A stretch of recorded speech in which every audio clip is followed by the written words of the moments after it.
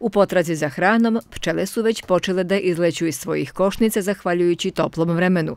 Pčelari se nadaju dobroj godini. U staroj pazovi nisu pretrpeli velike gubitke jer zima je bila blaga, pčelinja društva zdrava i lepo se razvijaju, a kako ne bi došlo do njihovog uginuća usled nepravilnog korišćenja hemijskih preparata, Živko Gorjanović, najstariji aktivni pčelar u staroj pazovi, napominje da je pčela u lancu naše ishrane na prvom mestu oplođava 80% biljaka.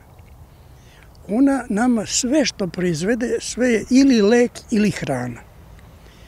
Ali za to ne traži ništa. Samo je treba sunce i cvet. I onda je sve u redu što se tiče pčela. One same naprave svoju kuću. Znači, ni to mi ne, ne moramo.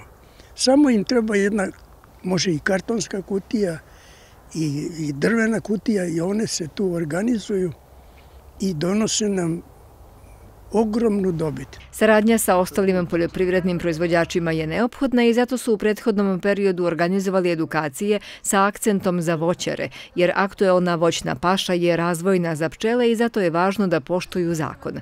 Poručuje Ljubiša Šandar, predsjednik Udruženja pčelara jedinstvo iz Stare Pazove. Zakon striktno kaže da se Eh, insekticidima ne prska voće tokom eh, vrhunca cvetanja i da koriste samo one preparate koji eh, ne utiču štetno na insekte.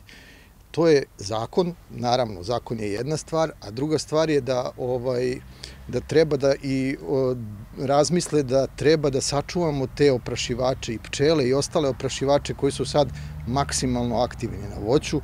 One doprinose povećanju rodnosti tog voća i bez pčela, odnosno tih oprašivača, nema, ovaj, kako se zove, nema dobrog roda samog voća. Kada voće cveta, ne treba prskati insekticidima jer pčele svojim oprašivanjem doprinose boljem rodu.